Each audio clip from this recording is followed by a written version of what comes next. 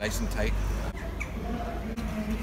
192 kilometres and we have Charles Gimu in the back as the mechanic today.